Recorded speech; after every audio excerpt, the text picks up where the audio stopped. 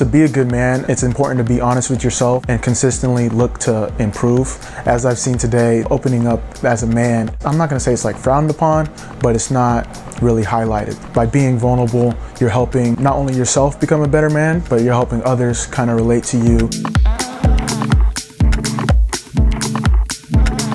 The teams I've had most most fun and the most successful teams are the ones that, you know, they care about each other off the field. It's not like you have clicks here and there. It's a synonymous relationship with your off the field and your on the field performance. We all have, you know, different personalities, different likes, different wants, and I think it's important to open up. Every person can make a difference.